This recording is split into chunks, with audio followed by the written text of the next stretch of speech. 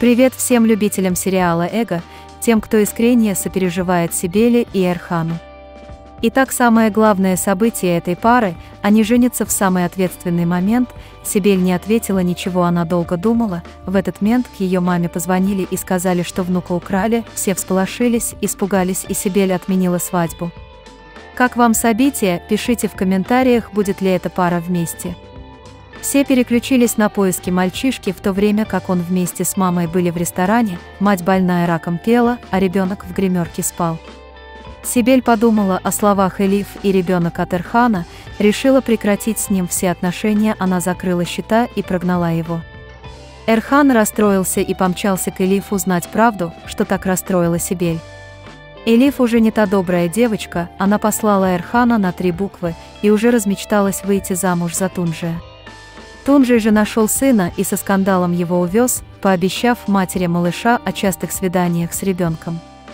В это время Сибель решилась на операцию и уже даже ввели наркоз, но к ней примчался Эрхан и увез с больницы, он понял, что влюблен в нее и хочет быть вместе. Тем временем Захер и его семейка терроризируют отца Сибель, блокируют ему счета, забирают бизнес. Поэтому дед уговорил Синим выйти замуж за Зафера, девушка в истерике, но ничего не может поделать. Жена Тунжи отнесла миллион, который накануне дал ей муж, чтобы поскорее развестись деду, и рассказала, как Тунжи обворовывает фирму. Она хочет все счета Тунжи, все то, что он имеет. В семье Сибель раскрылась новость о беременности Элиф, все в шоке Тунжи мечтает о свадьбе, а его мать о аборте, о чем она заявила отцу Элиф. Но тот не согласен, оскорблен ушел. Сибель вышла с наркоза дома, там Эрхан рассказал о своих чувствах, и они в компании друзей расписались. В этот момент к ним вошла любовница отца и казала правду Эрхан, отец ребенка Элиф.